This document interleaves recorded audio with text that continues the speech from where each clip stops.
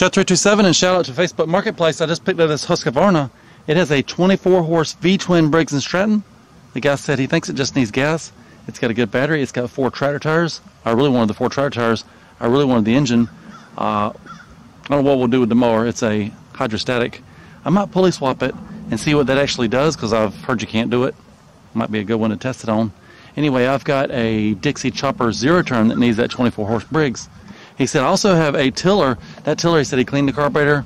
Must be some kind of trash in the line. Uh, it was 25 bucks. And he threw in a line trimmer with a brush cutter for free.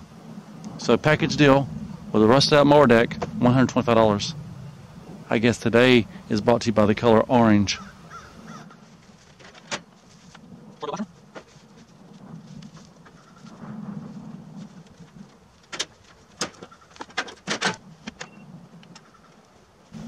There's the grill. Fresh Husqvarna stickers. That's cool.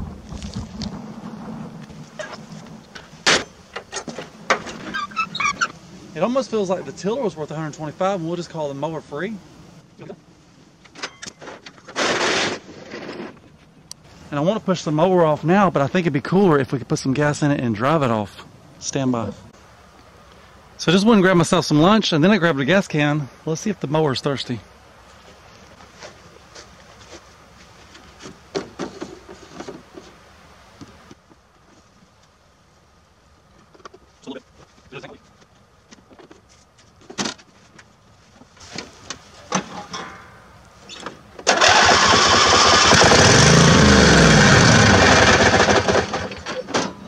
Probably should check the oil too. Oil looks really good. There's some kind of bumping noise. Maybe that's not a rod.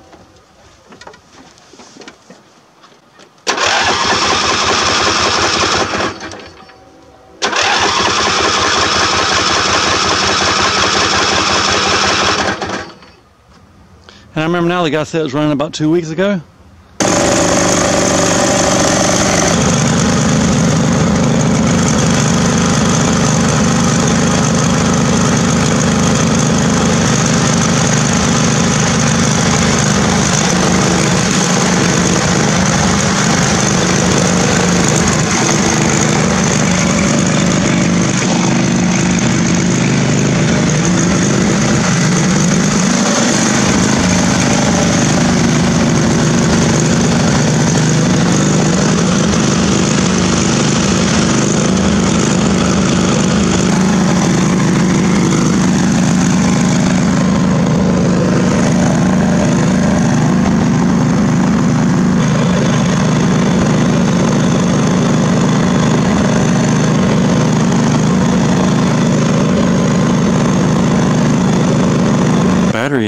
It's a diehard. I don't know how old it is, but it's starting it good.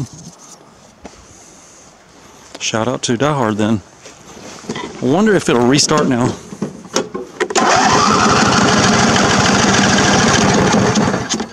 Big fat maybe.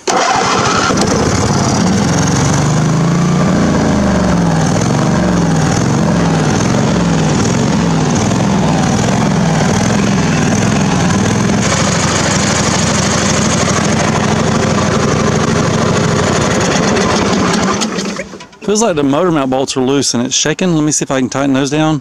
We might get the hood back on it. Maybe put the grill in it. Maybe go wash it. It needs a good washing. And it feels like while you're at it, why don't you pull the gas in the carburetor of the tiller and see if it'll start. Hold on.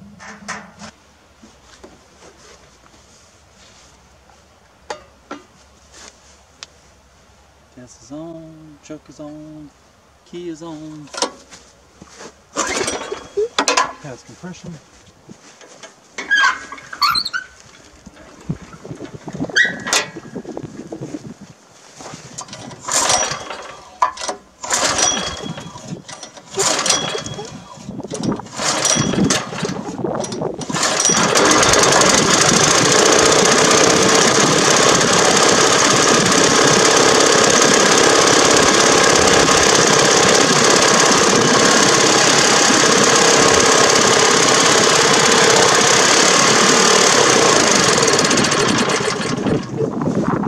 I think that's going to be an easy fix. So update time, I just tightened the motor mount bolts. Two of them seem loose, two of them seem tight. They're all tight now. And just aired the front two tires. Back's fine. It is pressure wash time. I want to see what's underneath that mold. Anyway, this is the before. I'll show you the after.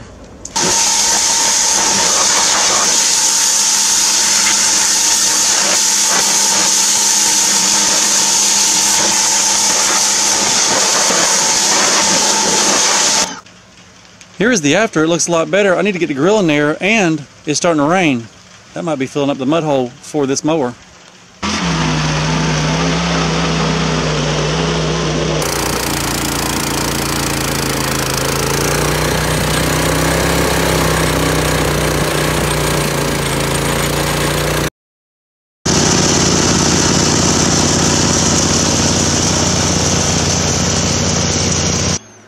So I'm back in the shop. I was out running the tiller, but it's hot sun. I'm gonna come in the garage in the shade.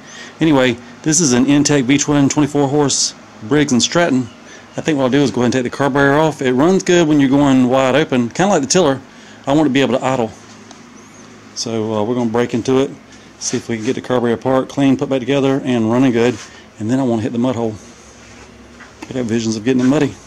So before I take the carburetor off and tear it apart, I've got this water bottle. The fuel line's going there. It could have been the fuel pump messed up. Let's turn it over and see if it's pumping any fuel.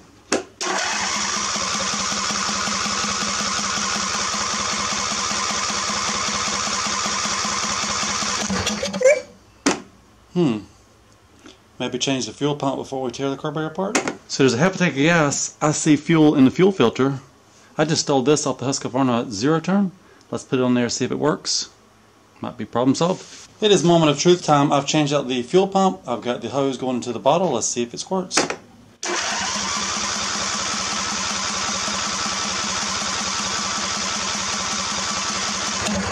It's not pumping. So I've got the air hose blowing into the gas line. If you look at the filler cap, hold on, let me zoom in.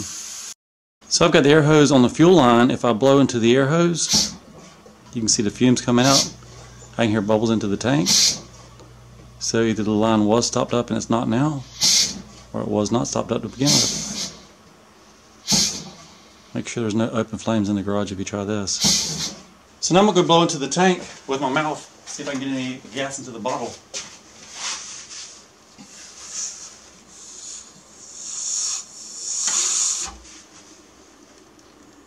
So, gas line is not stopped up. Let's put it back on the fuel pump, see if it'll pump now. So now it's just blowing into the tank. It's going through the fuel pump into the bottle. If we hit the key, it should be pumping now.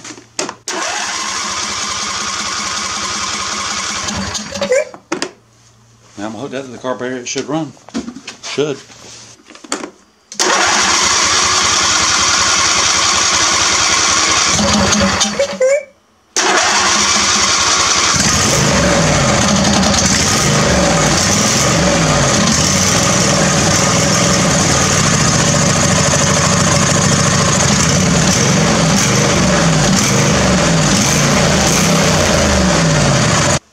Feel like the right thing to do would be take the carburetor apart and clean it, but I kind of want to hit the mud first. Let's put cleaning the carburetor on hold and see if we can get to the mud hole. So I just greased the front wheels, and now we're working on the hood. I'm going to try to put the grill in place. Before I do that, I'm going to clean these dirty lenses, maybe clean up inside of here. See if we get the headlights to work and be bright.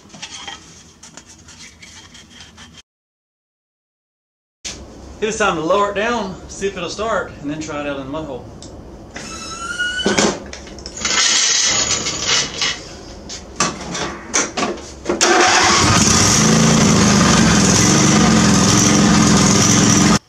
So here are both machines. The tractor runs, the tiller runs. Tiller did his work this morning. Tractor's about to go to the mud hole now. Anyway, they both run. They like to run wide open. Anyway, I think right now I'll fire them both up, let you listen to them. Then I'm take the tractor to the mud hole.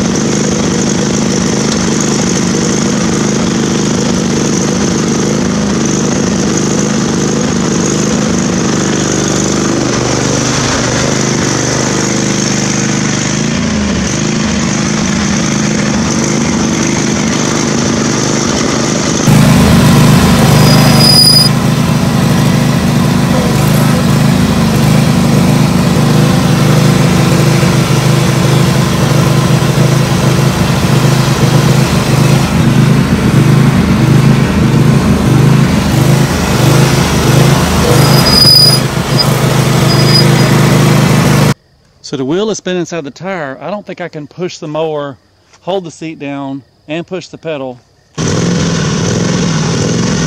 So I don't know if it was the tire failed or the valve stem failed. It might have been low tire pressure wore off the valve stem. We're gonna get a new valve stem in there, put some air in it, head back to the hole.